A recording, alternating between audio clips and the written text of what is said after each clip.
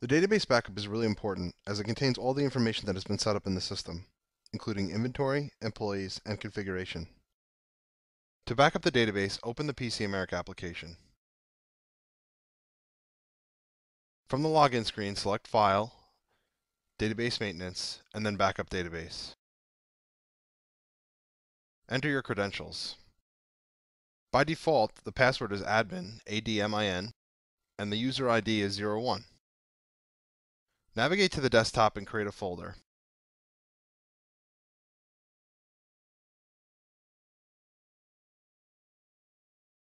We're going to name this folder Backups.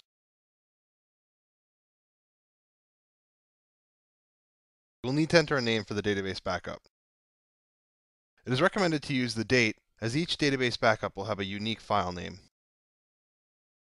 This is important as our system works with an SQL database.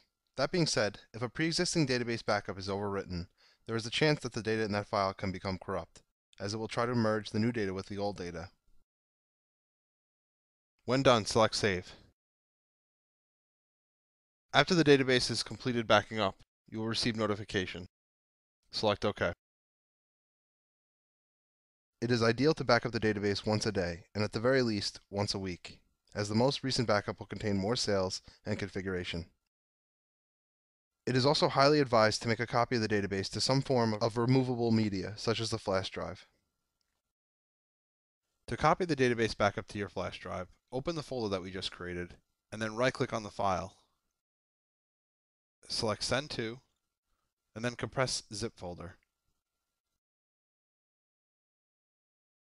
Right-click on the new file that was just created and select Copy.